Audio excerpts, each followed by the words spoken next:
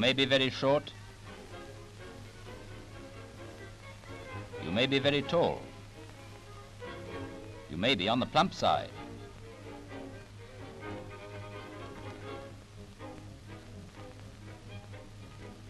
Or you may have a figure like a Venus. Whatever the shape, your body is a truly wonderful piece of mechanism. Just how wonderful and graceful and fascinating and altogether lovely will be observed with great pleasure, we trust, in these artistic poses.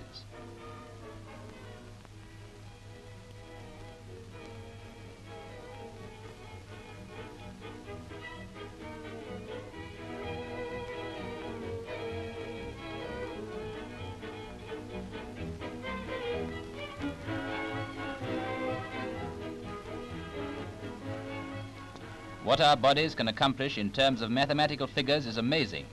And these are facts, mind you, not just fantastic parallels.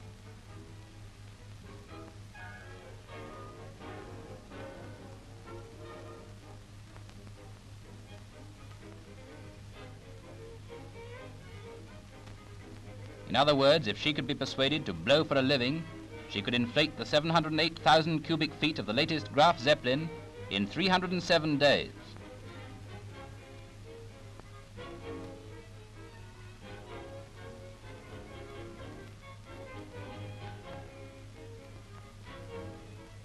Now let's examine her skin under the microscope.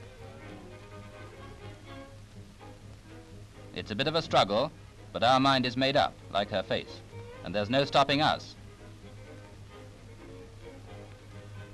Now you stay there, miss. And this is what we find.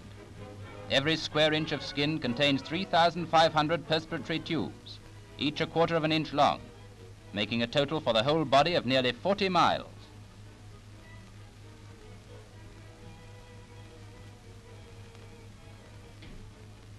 Keeping these pores actively perspiring is one of the best methods of slimming. Perhaps because it's the constant drip that wears away the stone.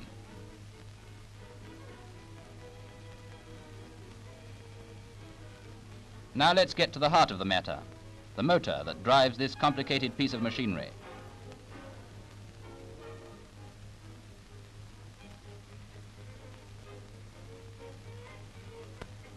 Two hundred and seventy million tons of blood would fill a tank with equal sides of 460 feet. That's two and a half times the height of Nelson's column. That may help you to understand why hearts sometimes break. You look bad. You should see a doctor. Doctor, I don't want a doctor. I want a plumber.